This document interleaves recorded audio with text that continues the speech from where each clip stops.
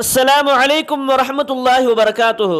அரஃபா நாளில் செய்யக்கூடிய அமல்களில் முதலாவது அல்லாஹ்விடத்திலே அதிகம் அதிகம் நாம் துஆக்களை கேட்க வேண்டும். அரஃபா நாளில் செய்யும் துஆ மிகச்சிறந்த துஆவாக இருக்கின்றது. அல்லாஹ் தன் அடியார்களின் துஆக்களை ஏற்று அவர்களின் பாவங்களையும் இந்த அரஃபா தினத்தில் அல்லாஹ் மன்னிக்கின்றான். இந்த அரஃபா தினத்தில் அல்லாஹ் நரக விடுதலையை அளிக்கின்றான். இந்த அரஃபா தினத்திலே அவர்கள் கேட்கக்கூடிய ரிசுக்கனுடைய துவாக்களாக இருந்தாலும் அவர்களுடைய எல்லா தேவைகளுடைய துவாக்களாக இருந்தாலும் ஏன் இன்னும் இந்த உலகத்தினுடைய தேவைகளையும் மறு உலகத்தினுடைய அனைத்து தேவைகளையும் அல்லாஹ் இந்த அடியார்களுக்கு நிவர்த்தி செய்கின்றார் நாம் அல்லாஹ்விடத்திலே கேட்கும் துவாக்கள் ஒப்புக்கொள்ளப்படக்கூடிய நேரம் இந்த அரஃபானுடைய நாள்தான் என்பதை நாம் விளங்கி அல்லாஹ்விடத்திலே அதிகம் அதிகம் துவாக்களை கேட்க வேண்டும். ஷெய்தான் தன் தலையில் மண்ணை அள்ளி வீசி அழுகின்ற நாள் இந்த அரஃபாவுடைய நாள்தான்.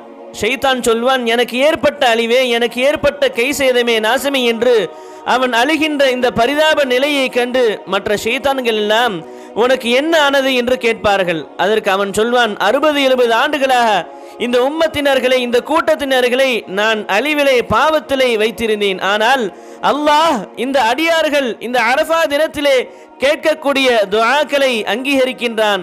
இந்த துஆக்களினால் அல்லாஹ் அவர்களை மன்னிக்கின்றான். இதனால் எனக்கு கை செய்தமாகிவிட்டது என்று ஷெய்தான் புலம்பக்கூடிய அந்த நிலை இந்த அரஃபாவுடைய நாளில்தான்.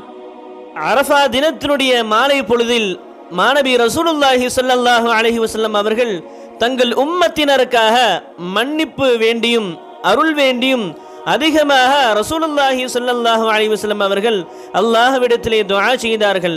அல்லாஹ் அதற்கு உடனே செவி சாய்த்தான்.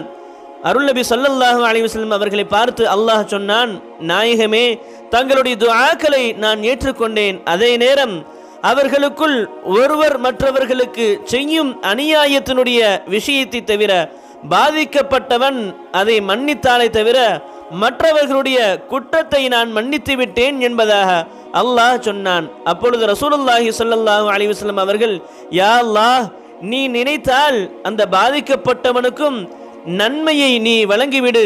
இந்த பாவிகளை நீ மன்னித்து விடலாமே என்று அருள் நபி ஸல்லல்லாஹு அலைஹி அவர்கள் அல்லாஹ்விடத்திலே இந்த கோரிக்கை வைத்தபோது அப்பொழுது அல்லாஹ் எந்த பதிலும் சல்லல்லாஹு அலிவசல்லம் அவர்களுக்கு தரவில்லை. ஆனாலும் பெருமானார் சல்லல்லாஹு அலிவசல்லம் அவர்கள் இந்த துவாக்களை விடவில்லை.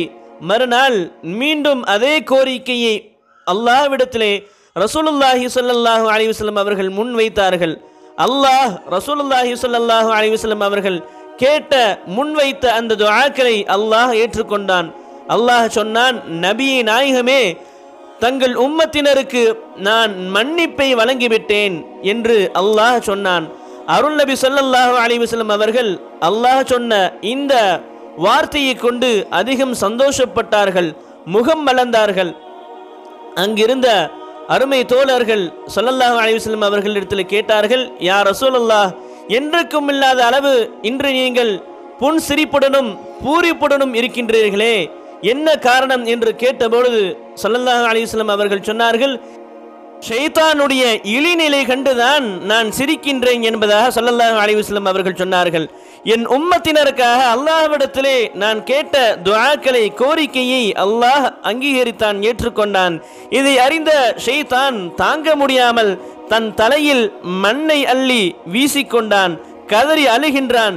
இந்த காட்சியை கண்டுதான் நான் சிரிக்கின்றேன் என்பதாக ரசூலுல்லாஹி ஸல்லல்லாஹு அலைஹி வஸல்லம் அவர்கள் அருளியதாக அக்பாரும் மக்கத்துள்ளில் ஃபாக்கிஹி என்ற நூலிலே இந்த ஹதீஸ் இடம்பெற்றுள்ளது இந்த அரஃபாவுடைய தினத்திலே ரசூலுல்லாஹி ஸல்லல்லாஹு அலைஹி வஸல்லம் அவர்கள் கேட்ட ஒரு துஆவை இன்ஷா அல்லாஹ் இப்பொழுது நாம் பார்ப்போம் عن عمرو بن شعيب رضي الله عنه عن أبيه عن جده أن النبي صلى الله عليه وسلم قال خير الدعاء دعاء يوم عرفة وخير ما قلت أنا والنبيون من قبلي لا إله إلا الله وحده لا شريك له له الملك وله الحمد وهو على كل شيء قدير.